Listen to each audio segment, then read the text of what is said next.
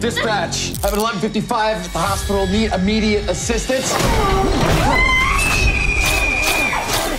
Why are you doing this to me?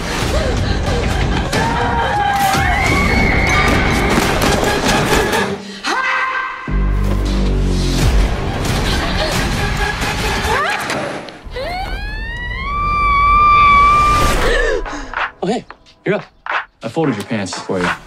No way. Dude, did you hit that or what?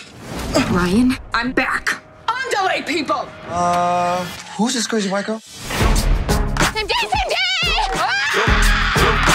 Everything's different this time. Now, the killer is coming after all of us. Ryan!